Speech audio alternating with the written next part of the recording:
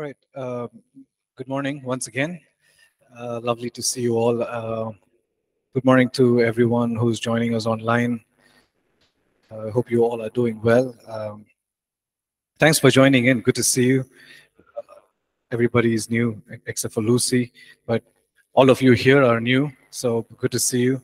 Uh, I will be teaching this course called Praise and Worship. and yeah, I'm excited and I'm looking forward to teaching this subject, and I hope you are excited about it the same. Uh, my name is Roshan. I'm from Bangalore.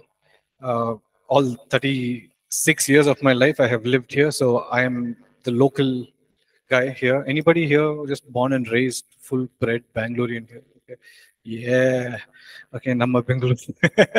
but good, lovely, lovely to have. Uh, but yeah, it's been it's been great, uh, but looking forward to getting to know all of you. Uh, I don't know everybody's names.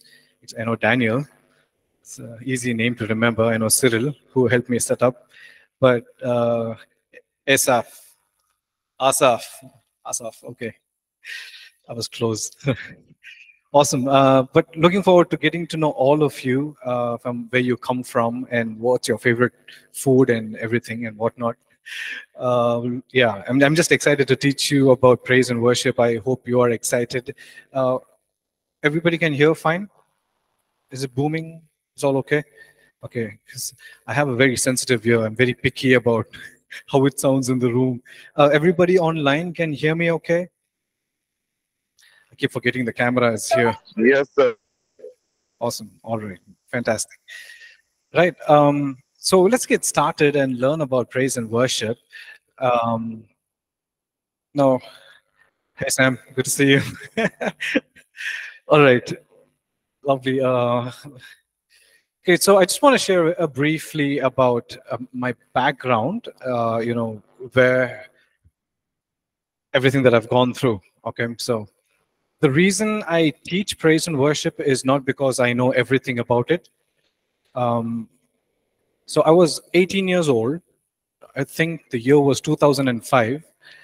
Um, I was studying second PUC in Karnataka. That's what we call it, 12th. You know, second PUC, and uh, I was 18, and I failed in mathematics.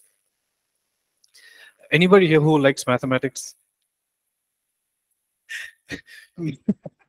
so if I like mathematics, why would I be in Bible college? You know.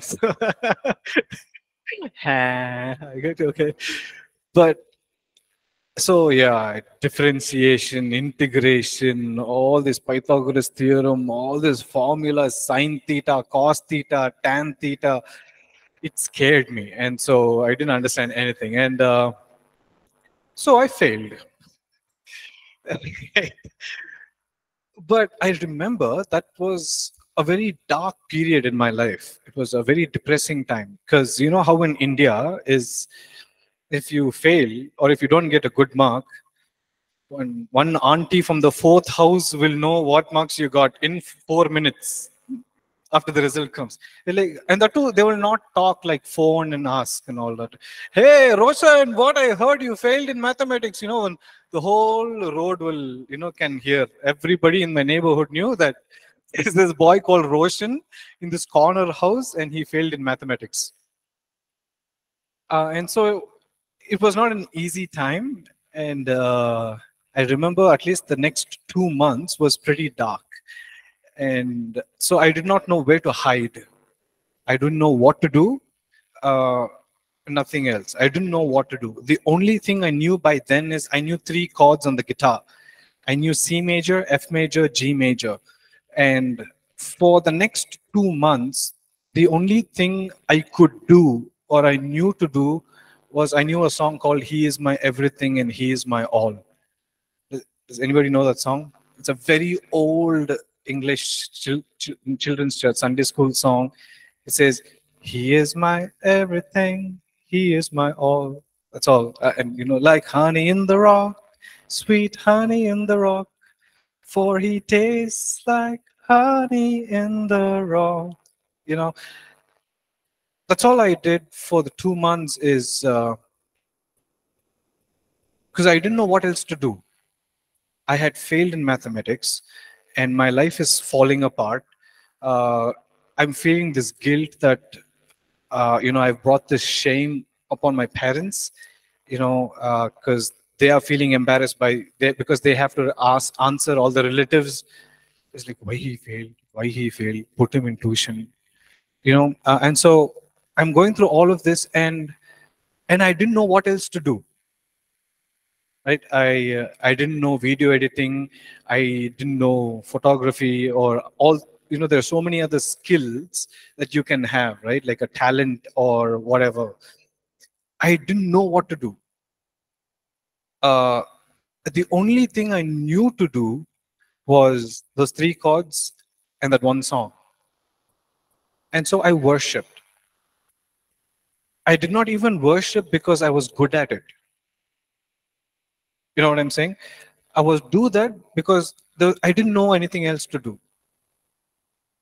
And uh, and so that's why this aspect of worship uh, my journey with worship kind of begins there. Uh, is I'm talking about one aspect of worship, which is singing and playing, but then from 18, I'm 36, that's almost 18 years ago, you know, it's half my life has gone. Uh, God has been gracious, He's been merciful uh, to teach me something more about praise and worship along this journey. And that is what I want to share with us. Um, so Everybody okay so far?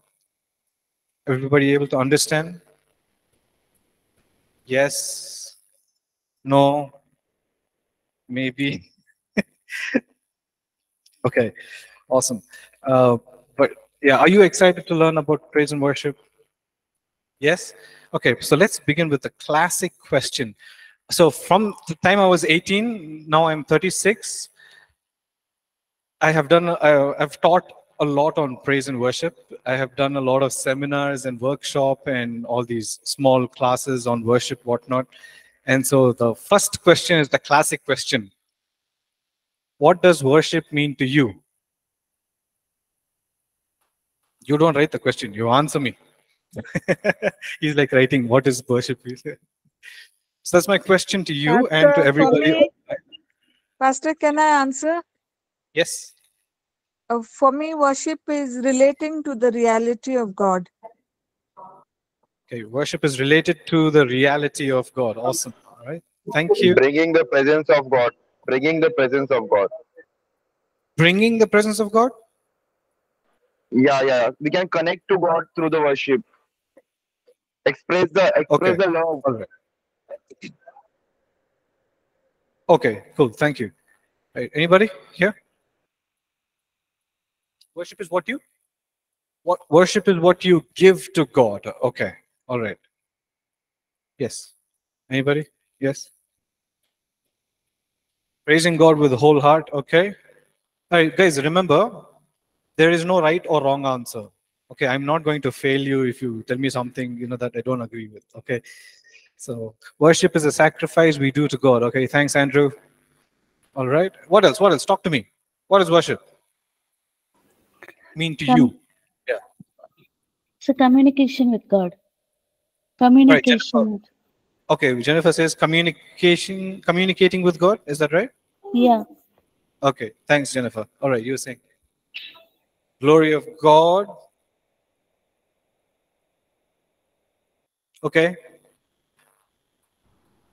to praise him sorry, Pankaj, you were saying something to praise god to praise God. Okay, worshiping. all right.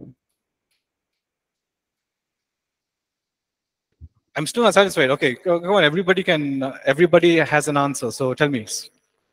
Talk to me. What does worship mean to you?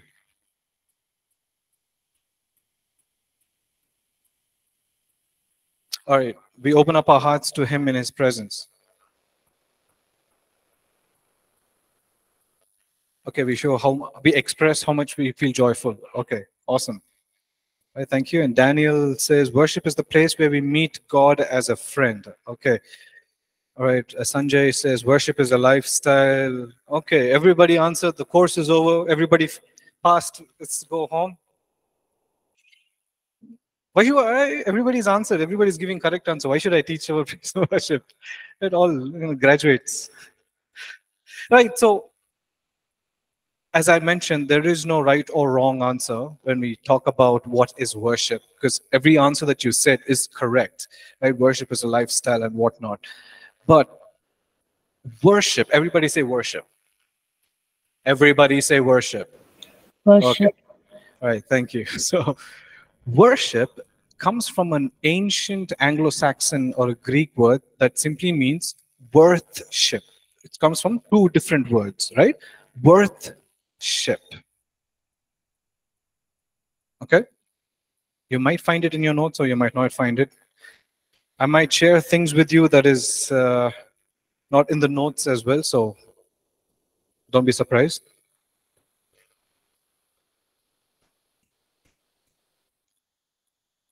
Okay, so worthship. Uh, wor- we recently had a short-term Bible college. I was going to ask uh, what word worthy worthy is in Hindi. That means yogya, no? Worthy. Uh, any other language? Telugu. What does worthy mean? Eh, Telugu. Worthy. Anybody who speaks Tamil? Worthy.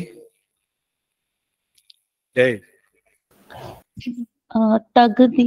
Uh, sorry. uh, in Tamil we say Tagudi. Your voice is not very clear, Jennifer. Are you Ah. saying in Tamil? Uh, yeah, in Tamil we say Tagudi, the word.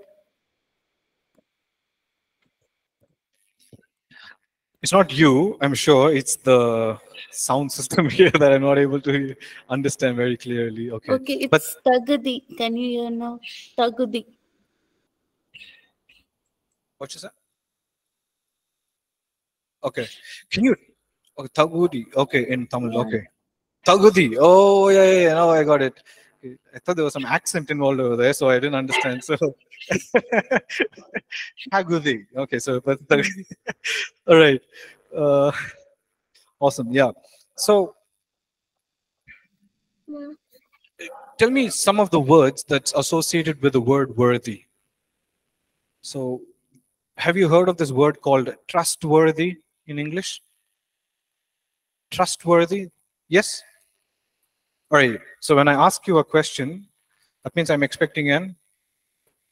So when I speak with you, you have to speak back. Okay. So have you heard trustworthy? Yes or no? Okay. So what does that mean? It means What else? dependable. Dependable. Okay, so let's just to keep just to make it the communication kind of clear between what's happening in class and online, so it doesn't sound like everybody speaking in tongues.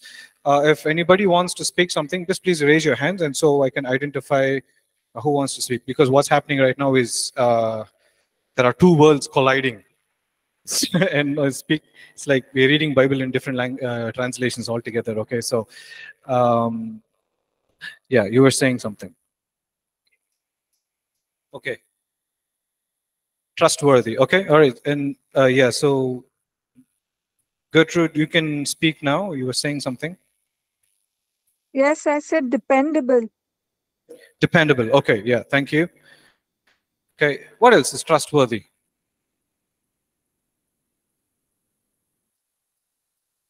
What? Oh, that's in your language. Okay. Okay. Yeah. Okay. So, so many other words are there associated with the word worthy. We say trustworthy. That means, um, say, if I say Cyril is a trustworthy person, that means he's worthy of my trust. Yes or no? Right? And there's so many other words. Uh, so before a ship is going into the sea, the captain will ask the question, is this ship seaworthy? That means, is this ship worthy of the voyage right? Uh, is or an aircraft is it airworthy? Before a pilot takes the aircraft, he- he'll ask the question: Is this aeroplane airworthy? That means is it worthy enough to go on a flight? And there are so many things associated with the word worthy, isn't it? Right? Everybody say worthy. right? And so the word worship comes from that word worthship. And so that answers the question or asks a question Is God worthy of your worship? And when I say God, I'm talking about Jesus. Let's get specific. Right? Is Jesus worthy of worship? Okay? So that's where the word worship comes from. Because as human beings, we worship. We can worship anything or anyone. Everybody worships, not just Christians. Yes or no? Everybody worships.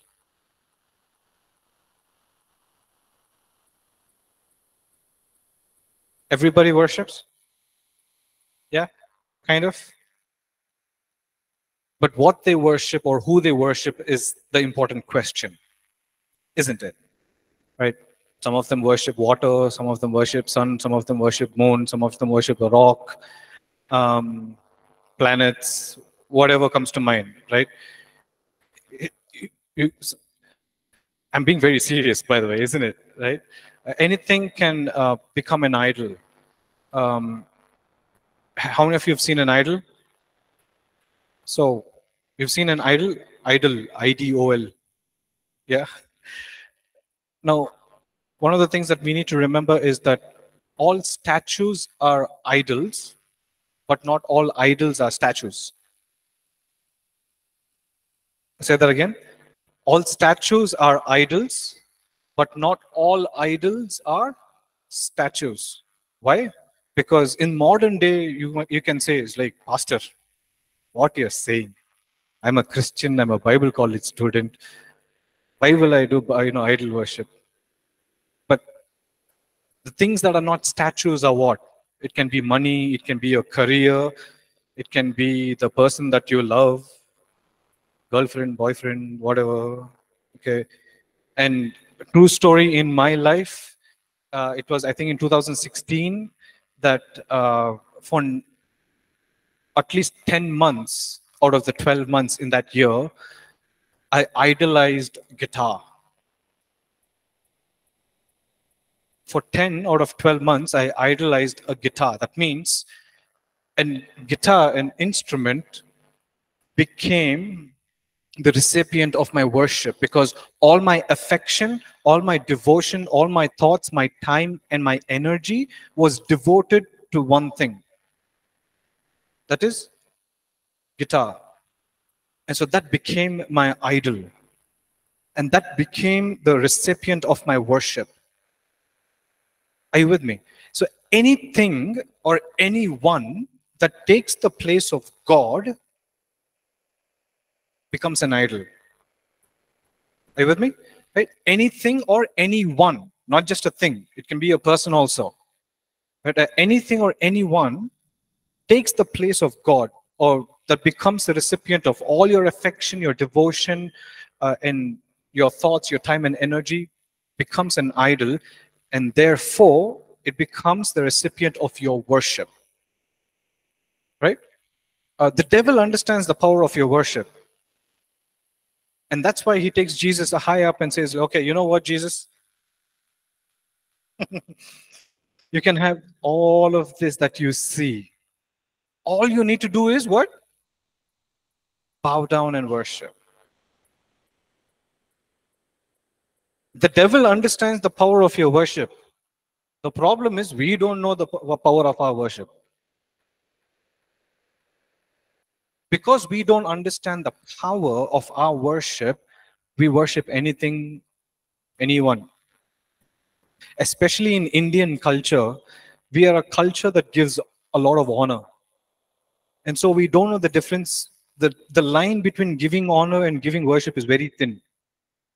And so, very often, in the name of giving honor to another individual, we end up worshiping that individual. Oh, this pastor is coming, let's go bow down.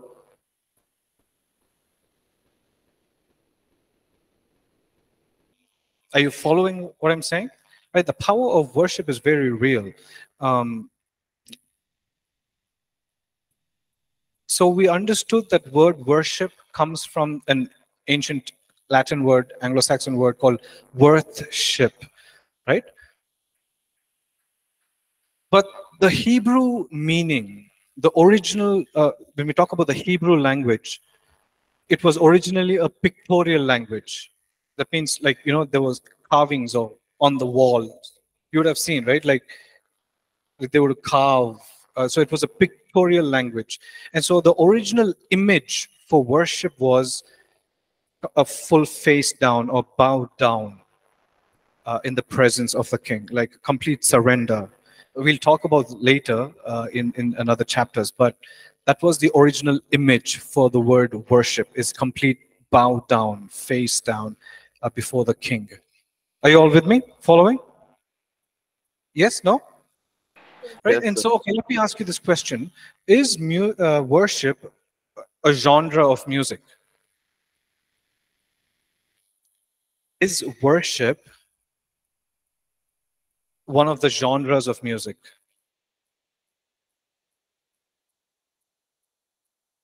Oh, You uh, you understand what a genre is, right? Is is it a jazz, pop, rock, classic rock, progressive rock, alternate rock, hip hop, rap? Is is worship one of the genres? No, Pastor. Thank you. Everybody's looking at me like uh, confused. It's like a tricky question. It's like.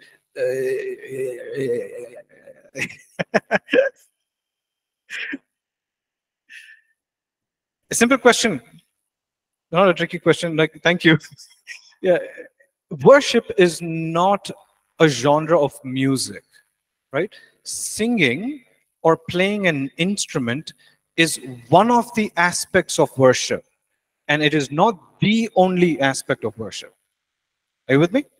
Right? Music, singing, or playing an instrument is one of the ways of how you express worship, but it is not the only way how you express your uh, worship. Okay?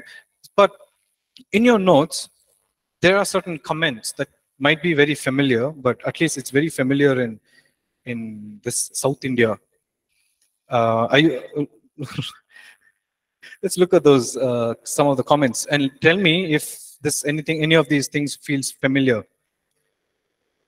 By the third song brother i was really worshipping. Has anybody heard that? No i have heard. That's why it's over there. Okay. By the second song or the third song by the fourth song i was lost. Uh, gone So the question is, who or what were you worshipping before the third song? What about the first song? What about before singing? I reached the church, I parked the car, I was fighting with someone. I re entered the church, I started singing. Okay, let's let's just continue. Um, Anybody online have heard those comments? By the third song, I was really worshipping. Okay, another comment. Uh, it says, Worship gets me to the place where I don't have to think about anything.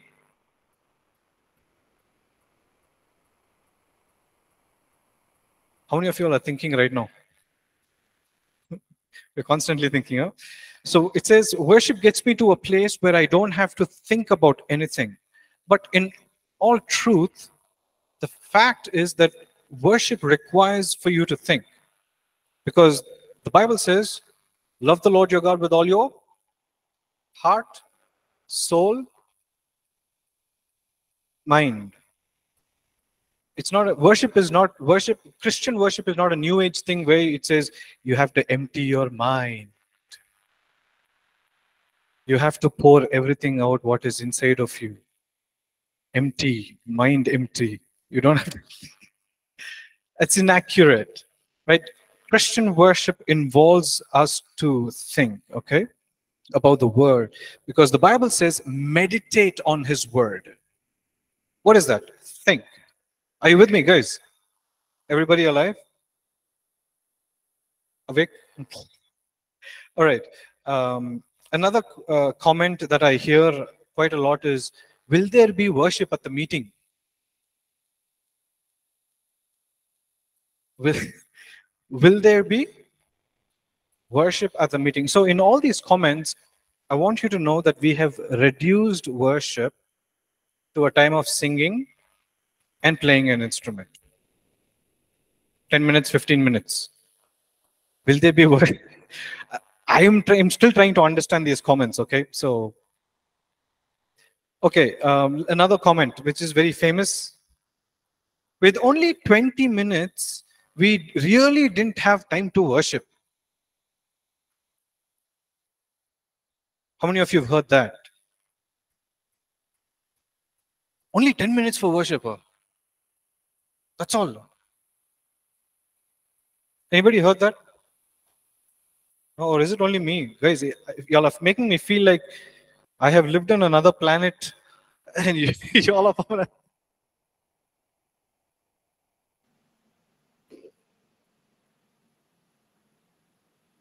Yes, yes, it happens. Thank you. Thank you.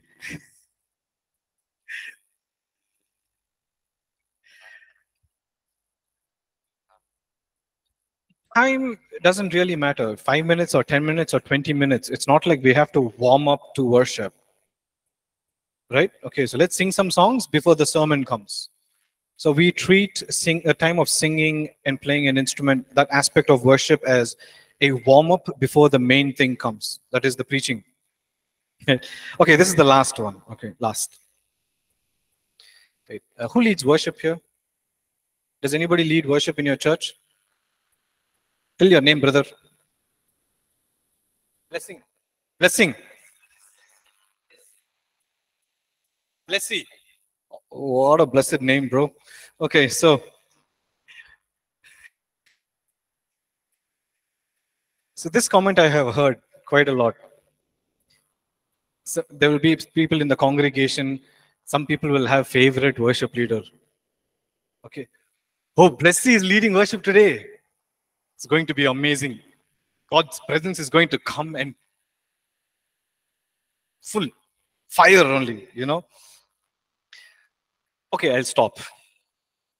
Now, I'm sharing all of this for your for us to know that we have reduced worship to all these comments, right? We have reduced worship to just 10 minutes or five minutes of singing and worship and whatnot. But worship, as we've said, is, is it's a lifestyle, isn't it? Worship is how I treat you guys. Worship is how I treat my friends. Worship is how I treat my wife. Worship is how I treat my, uh, you know, any relationship for that matter. Worship is how I treat my work. Yes? And so when I say worship is a lifestyle, worship is all of that, right? How you live your life as a Christian. Does it honor God? Is your, you know, does your life honor God? And if it is honoring God, that is a life of worship. Are you with me? Because uh, as I said, that I have been in worship ministry long enough to know that you can be a worship leader on stage on fire with all the right words that's coming from your mouth and get off stage, you're a different person altogether. Right? On, on stage, you can be a worship leader. Off stage, you can be the worst person. Right? Nobody wants to talk with you because you treat everyone so bad. Are you with me? Right? And so um, all that is worship is how we live our life together. Um, in your notes, let's go to the second page. Let's understand, uh, let's look at some more definitions of worship.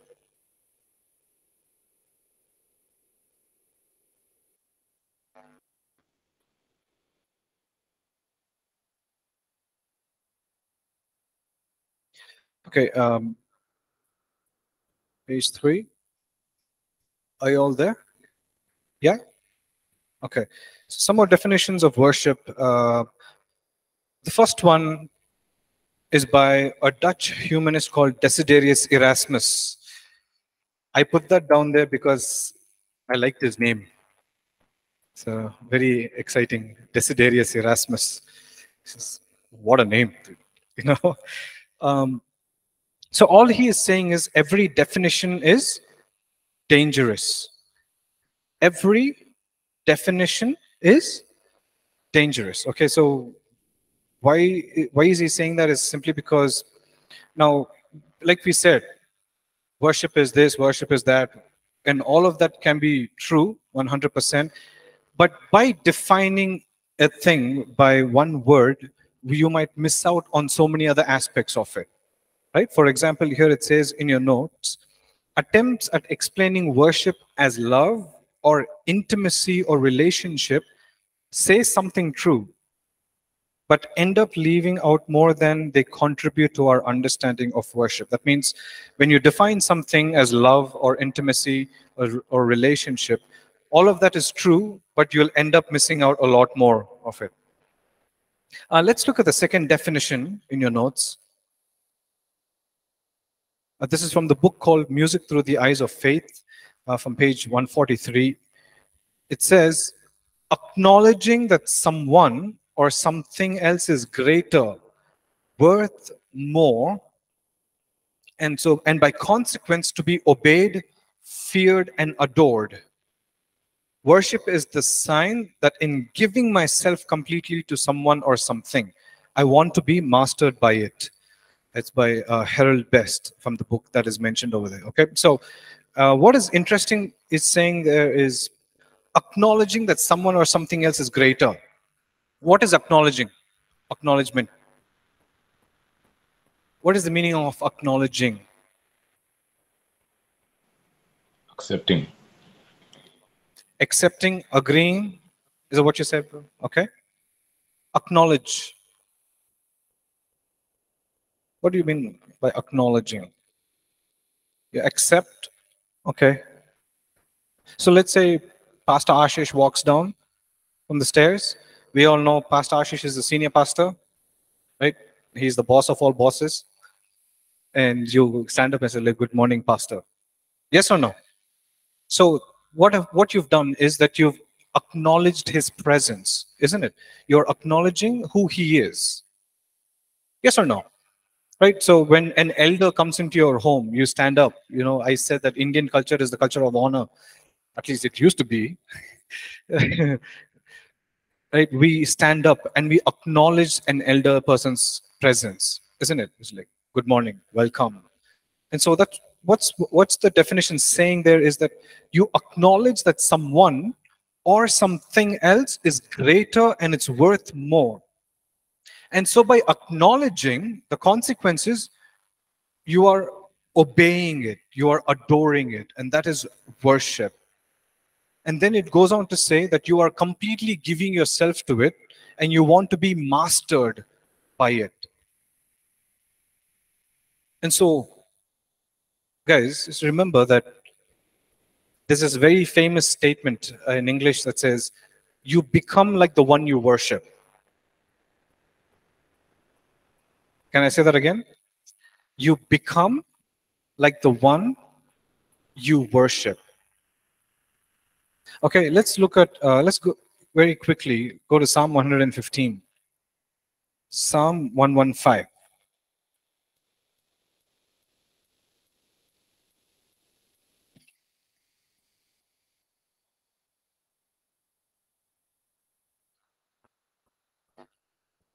Okay. If you're there, type amen or say amen. Amen. Okay. Uh, if you're still searching for Psalms 115, uh, we'll have an altar call at the end of it. We will pray for you. Great. Okay, the rate of amen is increased after saying we'll have altar call. Okay, so okay, Psalm 115. Um, I'm going to read from verse 4, Psalm 115, verse 4 onwards. It says, Their idols are silver and gold, the work of men's hands. They have mouths, but they do not speak. Eyes they have, but they do not see. They have ears, but they do not hear. Noses they have, but they do not smell. They have hands, but they do not handle. Feet they have, but they do not walk, nor do they mutter through their throat. Verse 8, important. Those who make them are like them. So is everyone who trusts in them. What does it say? Is at the end of it, those who make these idols are like them. That means it's simply saying you become like the one you worship. Right? Are you with me?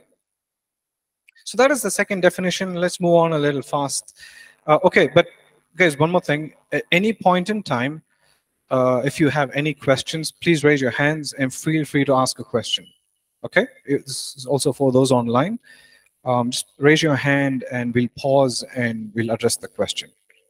Or you can also put your questions in the chat section and then we'll address it eventually. Okay. All right, let's continue. The third definition of worship worship is the believer's response of all that they are mind, emotions, will, body to what God is and says and does. Now, in all of these definitions, guys, I have mentioned the name of the book, the author, and the page number it's taken from. And so if you can eventually get your hands on those books, I encourage you to read it, okay?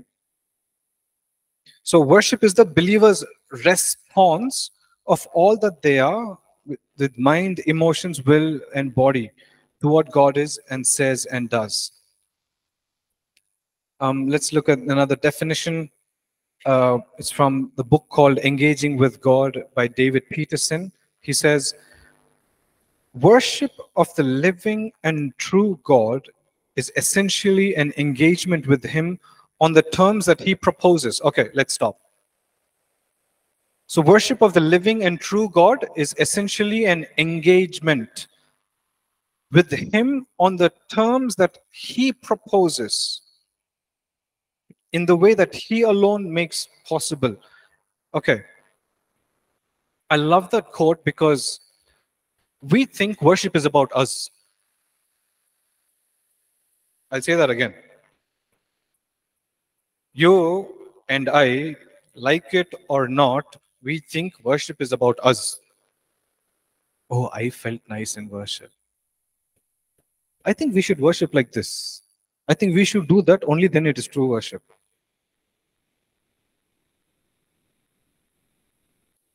If he sings English songs, it's not worship. We should sing in our own language. Only that is worship. What we have done is we have made worship about ourselves, about how we feel. Are you with me?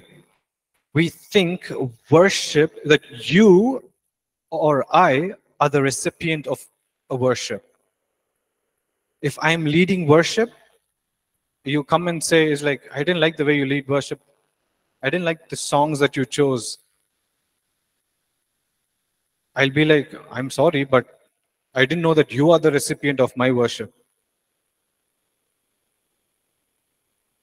For one second, what we'll do is we'll take it and let's not make worship about us. Okay? Worship is not about you and me. Worship is about about thank you. God. Okay, so that's what David Peterson is, saying in his book, um, is that we engage with God in worship on the terms that He proposes. It is God who told Moses how to build the tabernacle. Yes or no? Everybody learned about the tabernacle of Moses, heard about the tabernacle of Moses? God gives the blueprint to Moses. Okay, tell them to make like this. Tell them to use this color. Tell them to use that thread. Tell them to use that skin. This is the configuration, the size, everything, the length, the breadth. God is telling them how worship should be done. We don't tell God, okay, this is how I'm going to worship you, accept it or not. Cain tried doing that and his worship was not accepted. I know that's how you're supposed to worship, but I will worship you the way I want to worship. And God says, No, thank you, brother.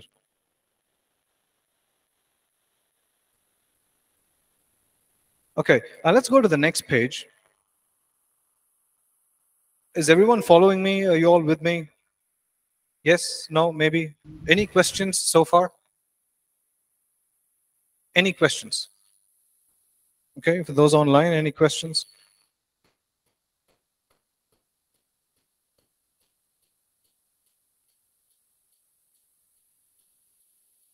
All right, thanks, Daniel.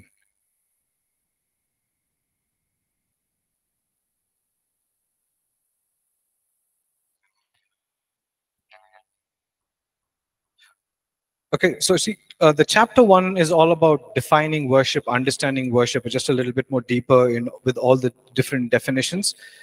Um, so stay with me. Um, there's a very famous uh, worship leader called Bob Kauflin. Uh, I'm just looking at your notes on page four. I think it's page four, right? Bob Kauflin, that says? Yeah, page five. Okay, sorry. Now, what we're going to do with this definition is we are going to break down to understand what uh, exactly is the uh, is the meaning of worship. Okay, so Bob Kauflin says Christian worship is the response of God's redeemed people to his self-revelation that exalts God's glory in Christ in our minds, affection, and wills in the power of the Holy Spirit. Okay, so what we're going to do for the next five minutes is we're going to break down that definition and try and understand what exactly is happening. Okay?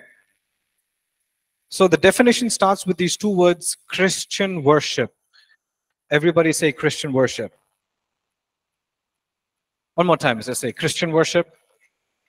Okay, because I said everybody worships, right? Everybody worships. But how is that different from Christian worship is what we're going to look at. Christian worship is different from every kind of worship because it has been made possible through it's been made possible through okay yeah through jesus christ okay let's go to the book of revelation chapter 5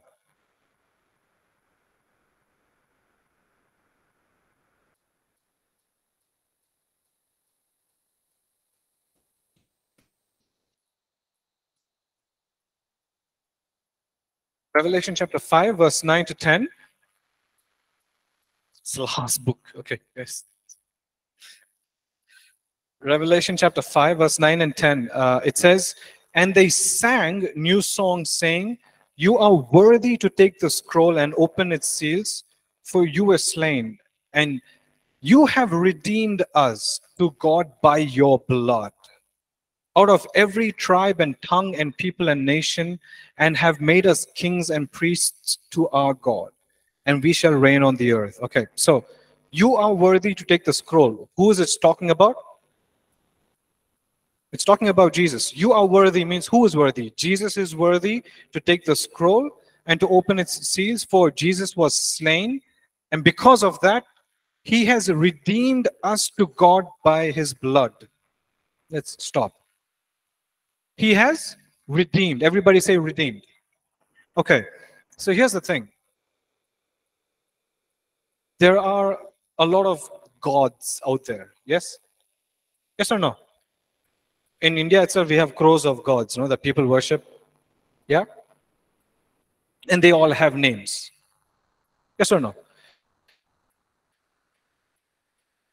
There is not a single other god that can go by the title or has the name or the title called Redeemer. No one. No other small God with small g. No other God has this title called Redeemer. Only Jesus, only Jesus is known as a the Redeemer. Jesus redeemed us and he has made it possible and so it is he is the only difference between christian worship and every other worship are you with me Yes. So it says Christian worship is different from every kind of worship because it has been made possible through Jesus Christ. And look at it. So, and then it says Christian worship is the response. So, when do we respond? Response. When do we respond? What is the meaning of response?